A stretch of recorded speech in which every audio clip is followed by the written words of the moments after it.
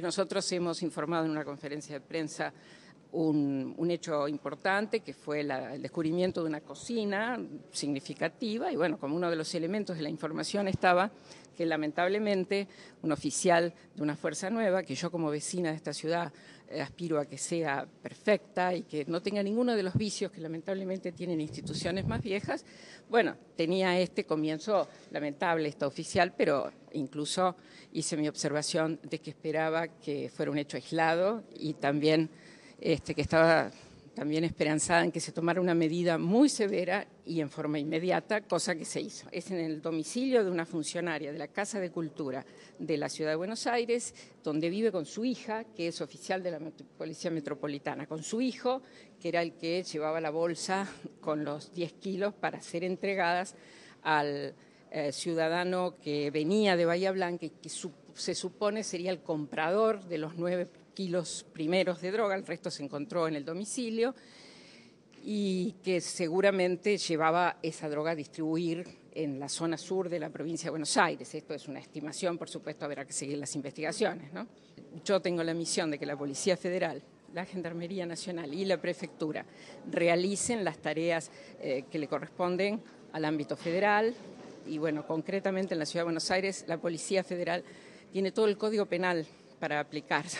para cuidar eso, que esos delitos no se concreten, para conjurarlos cuando se concretan y para hacer apoyo judicial una vez que se ha producido, hay que apoyar la investigación posterior.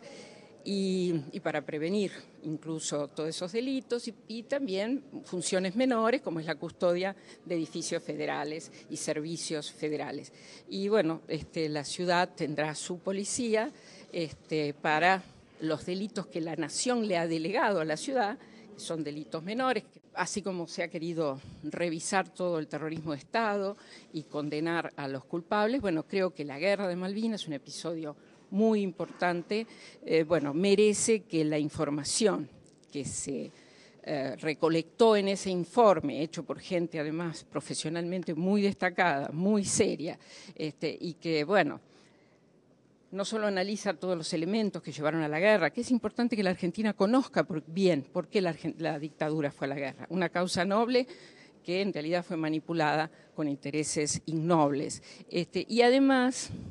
eh, que conozcamos también los errores que se cometieron desde el punto de vista profesional para que nuestras Fuerzas Armadas corrijan esos errores profesionales. Yo creo que en gran medida eso se ha logrado porque, bueno, como resultado de este informe, ya cuando tenga un estado público oficial, todos van a poder juzgarlo, se hacía mucho hincapié en la necesidad de un funcionamiento conjunto de las tres Fuerzas Armadas, cosa que 25 años después todavía no se había logrado y bueno, afortunadamente cuando llegamos al ministerio empezamos a impulsar eso fuertemente y hoy podemos decir que están todos los instrumentos para que este, se funcione en forma conjunta.